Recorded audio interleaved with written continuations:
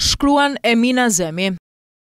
Një gur në sy është bërë për autoritetet e Shkupit, figura dhe vepra e Nën Terezës. Tash së fundmi në emër të zbukurimit të Shkupit, me vendosjen e një parku prej kartoni para pllakës përkujtimore të shtëpisë së lindjes së Nën Terezës, autoritetet e Shkupit dëshmuan botërisht se sa qesharakë e joseriozë janë edhe kur mundohen të zhbëjnë një histori dhe një të kaluar. Gjurmët e shtëpisë së shenjtores shqiptare, aty ku para njëqind e dhjetë vjetëve lindi Gonxhe Bojaxhiu, e njohur botërisht si Nënë Tereza, nuk mund t'i mbulojë ky instalacion që emrin e ka park, sepse gjurmët nuk fshihen mekanikisht. Gjurmët mund të fshihen, vetëm nëse del nga kujtesa një emër a një vepër. Me këtë veprim të shëmtuar, autoritetet e Shkupit rrënjosën edhe më thellë në kujtesën e shqiptarëve dhe gjithë botës së qytetëruar emrin dhe lavdinë e Nënë Terezës. Sa jo kreativë paskan qenë këta që e udhëheqin sot Shkupin, teksa kanë menduar se veprimet e tyre të shëmtuara mund t'i ndërmarrin në kohën kur botën e ka kapluar një pandemi e neveritshme dhe kur në vijim e sipër është muaji i Ramazanit. Ish-nomenklatura politike e komunistëve maqedonas, Kolishevski, Crvenkovski,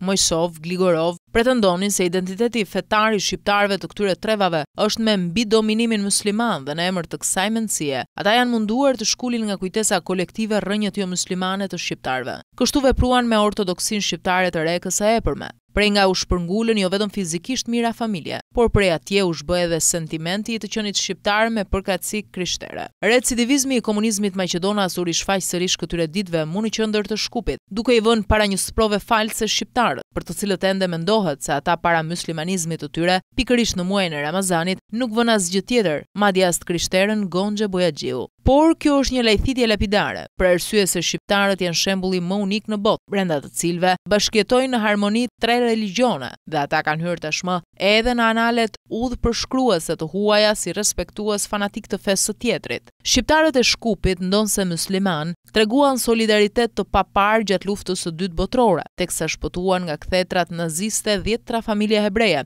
dhe kjo i bën ata të veçantë, sa i përket tejkalimit të përkatësisë fetare në emër të veprave humane e fisnike. Sa budalla duhet të jesh që të mendosh se do të gjesh sot shqiptar që do të ndihet indiferent kur dikush guxon të prekë mbi gjurmët katolike të shqiptarsisë së Shkupit.